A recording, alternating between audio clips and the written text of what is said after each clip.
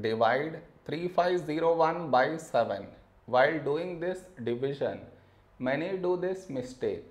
What is the mistake that they do? I will let you know. But before that, we should frame it in this way 3501 and 7 here. This is your step 1.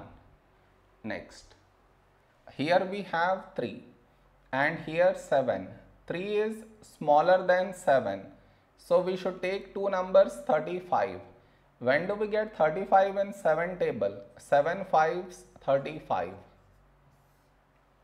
Now we should subtract. We get 0. After this, bring down the beside number. So 0 down. Now here we have 0 and here 7. 0 is smaller than 7. So we should bring down the second number. And the rule to bring down the second number is we should put 0 here. Then only we can bring this number down. After this step, the mistake happens and the mistake is this. Here we have 1 and here 7.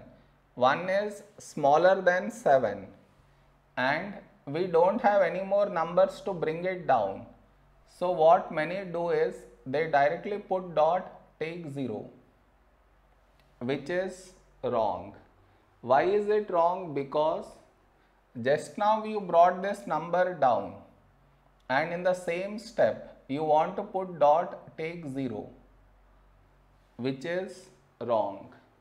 I repeat bring down the number and also put dot take 0 bring down the number and put dot take 0 both at the same step. You should not do. Instead what you should think of doing is which number should we take here? If I take 1 we will get 7 but 7 is larger than 1 so what we should do is we should take 0 so 7 into 0, 0. Now we should subtract 1 minus 0, 1. Over here we did not bring any number down and 1 is smaller than 7. So now we can put dot and take 0. So 10. A number close to 10 in 7 table is 7 ones 7. Now we should subtract we get 3 and you continue the division I am not doing that. Did you understand where does the mistake happens? You should not do that mistake.